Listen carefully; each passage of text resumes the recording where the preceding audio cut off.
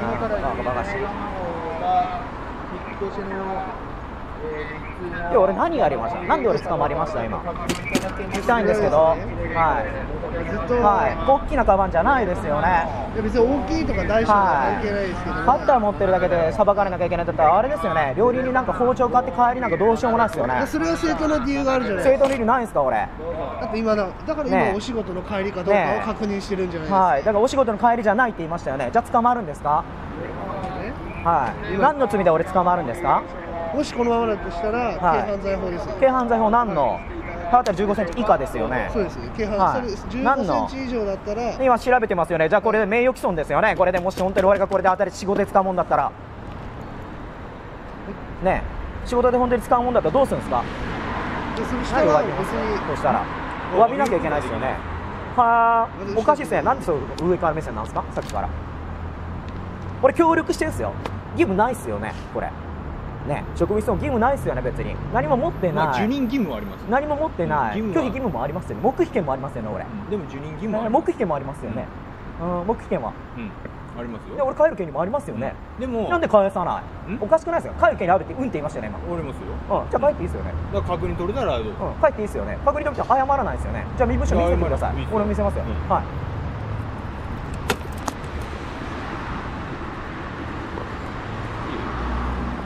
あいいっすよそっちは。あこっちのおまわりさんだけですかね今話してる、はい。はい記者方智則。はい。裏口とはい裏口さんですね。はい、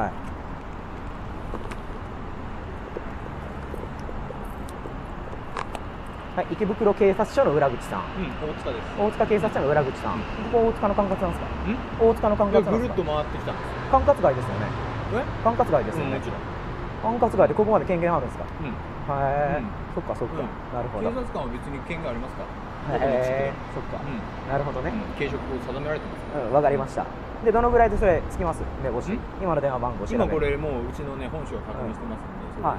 終わりしたい。はいはいはい。なるほど。面白い。もうちょっと取らないと。あなんで？自自由ですよね。自由ですよね俺取らないと。自由ですよね。じゃあ顔取らなきゃいいじゃないですか別に。自由ですよね。そっちのあれと一緒ですよね。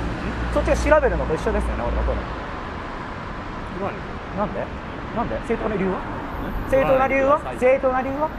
法的に正当な理由は？い。やなんで？なんで？だからなんでそうこう拒否するの？正当な理由は？え？止めるのの正当な理由は？だかやめてくださら正当な理由は？いやめてください。正当な理由は？やめてください。ああやめてくださいって言われても俺もじゃあ返してください。やめて返してください。確認取れれば返す。じゃあ俺も確認取れればこれ止めます。いいですよね。はい。じゃあなんでやめてって？お一緒じゃないですか。条件は。条件一緒じゃないですかじゃあうちもそうやってやるんでうん六丁目じゃあ急いでください。俺だって暇じゃないんです。へえ。バカバカしい。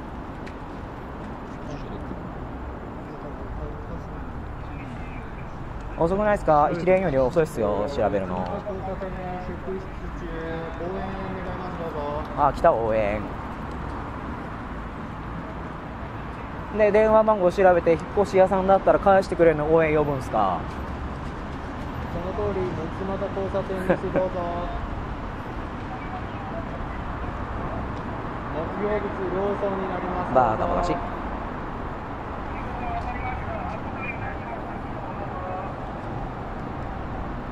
104で調べたら早くないですか？ねえ104で調べたら早くないですか？電話番号。速報ですよね速報ですよね。日通営業所巣鴨営業所あ日通の巣鴨営業所。それ聞いたらさっきの電話番号出てくるはずなんですけどそれは寄った方が早くないですか？今それ確認取ってる遅くないですか？遅いですよね。遅いですよね。電話番号調べるぐらいに。104で聞いた方が早くないですか？104で聞いてみたらどうですか？私たちうんうんじゃなくて。あのできないんで申し訳ないですけど携帯持ってないんで。ああなるほど